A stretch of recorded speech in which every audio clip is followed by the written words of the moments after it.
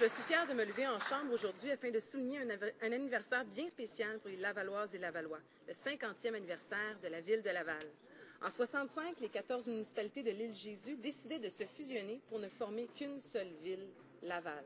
Et 50 ans plus tard, la troisième plus grande ville du Québec reste un pôle économique diversifié et prospère, en plus d'être un des premiers choix pour les jeunes familles et les aînés. Tout au long de l'année, une vaste programmation de festivités est offerte à tous.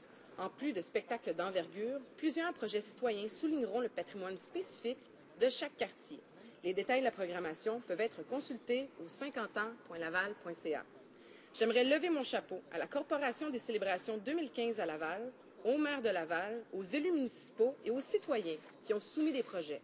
Votre dévouement pour les 50 ans de Laval démontre que nous pouvons accomplir de grandes choses tous ensemble. Bon 50e à toutes les Lavalloises et tous les Lavallois. The honourable member for Brampton Springdale.